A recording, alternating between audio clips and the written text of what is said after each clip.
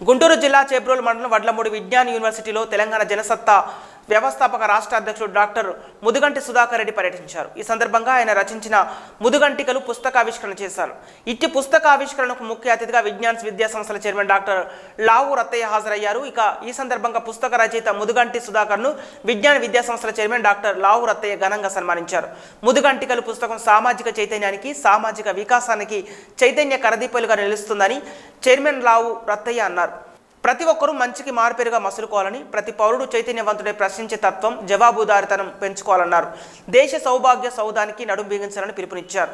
సమాజంలో జరుగుతున్న అవినీతిని అక్రమాలను ఎదిరించడమే లక్ష్యంగా సమాజానికి ఈ పుస్తకాన్ని అందించనున్నారని ముదుగంటి సుధాకర్ అన్నారు.